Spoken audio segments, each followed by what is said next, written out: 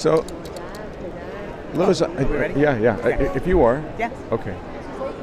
Uh, when, when we think back on uh, the inspiration for some of this work, Right. it, it seems to harken back to uh, a, a time of uh, Keith Haring in New York City.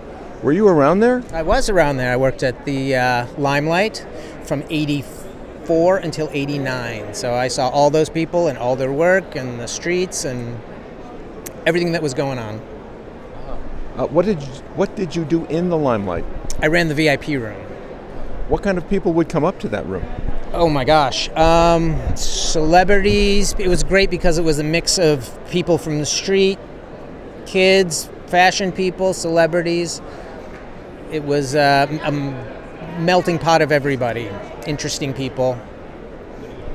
Uh, and did you make this art in Manhattan? No, I didn't even think about painting when I was in Manhattan. I was, I look back on it now, and I was kind of absorbing because I was talking to artists and fashion people.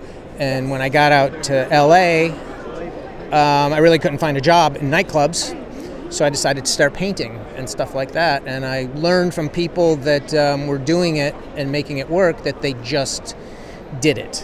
They didn't go to school to learn the rules. They kind of had an idea and ran with it, and that's what I did.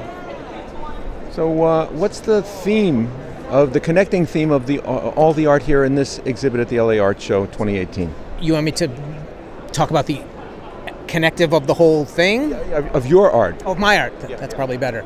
Um, well i firmly believe that the artist creates his own universe and when i see details that come up to me in my life i write them down.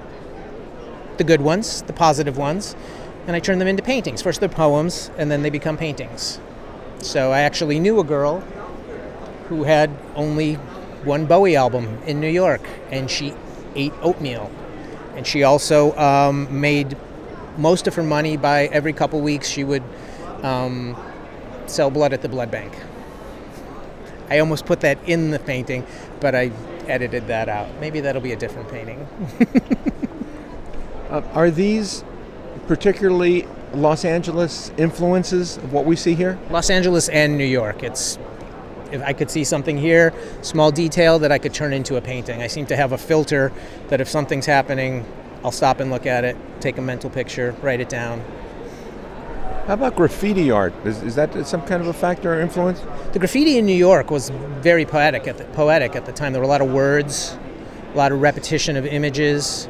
It was really great. Some of the um, some of the subway stops were just full of graffiti, illegal graffiti. I don't know if they're letting some in now, but it was very graffiti on top of graffiti. The whole thing looked like a piece, you know. Is this uh, art in some way reflective of Los Angeles? Oh yes, it's reflective of anybody that has like any kind of social interaction with other people and takes takes note of it. A lot of people can identify with it. I, I um, when I do the words, I try to edit it down so that if one more word was missing, it wouldn't make any sense. So I try to keep it down to minimum, and then the viewer can fill in with their own personal ideas. What's your website? People wanted to see more of your work. It's uh, powderfrench.com, P O W D E R F R E N C H. Is that because there's so much powder blue in it? It was the name of my band in high school. I tried to make a band that sounded like a perfume or possibly a drug or possibly a drink or a color. it was very vague. I was very ahead of myself. Did that influence the fact that you have so much powder blue in the art? Yes, yes. I made I I had a darker blue at one point, but I kept dipping white in it before I would do it and it came to this color. And I took that color and I put it on a piece of cardboard and I brought it to a paint store and I had them reproduce it. So I call that powder French blue. Good, four and a half minutes.